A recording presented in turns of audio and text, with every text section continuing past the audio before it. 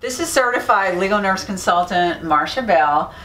Marcia has told me that she's been involved in 180 cases.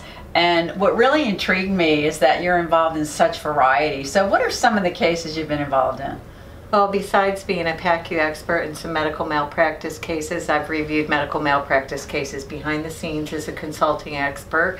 I've done accident cases, I've done some employment law cases, I've done a family law case, I, I do criminal cases as well as DMEs. Yeah, wow. Okay, so I, I really like hearing that because so often I think new certified legal nurse consultants, they think about their specialty, your specialty, PACU.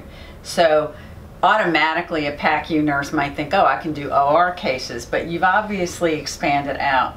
And I want to ask you about criminal because this is especially an area where a lot of new certified legal nurse consultants they don't think so much about criminal, and yet this is such a limitless area for nurse consultants to be involved in. So tell me a little bit about your involvement with those cases. Well, I met an attorney one of the first times I exhibited at a state bar association, and she had re- review a case for someone who had hot oil poured on them in jail. In her next case, she said, "Are you on the list of experts at the courthouse?" And I said, "No."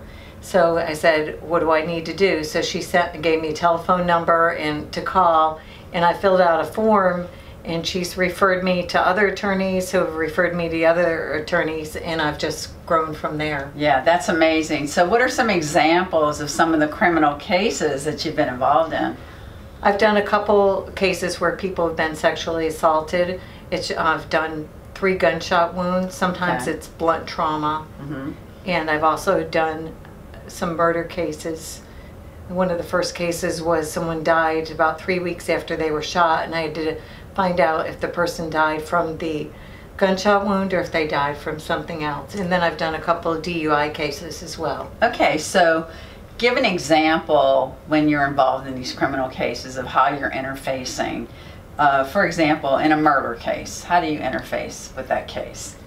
Well, the one was really technical, and we had to look at the autopsy report. And my review of the autopsy report and the angle that the bullet path took actually was help, helpful in the defense attorney getting her defendant acquitted because he said he was shooting at the individual over his shoulder and was pointing the gun down, and the autopsy report showed that the bullet path went from a lower position to a higher position because there were several shooters and several weapons, so they were trying to decide who did it. So the autopsy report, the ability to get through the medical terminology helped right. the attorney. And I think that's so important because criminal cases often involve medical records. These attorneys don't know how to decipher these medical records, and that's where you come in.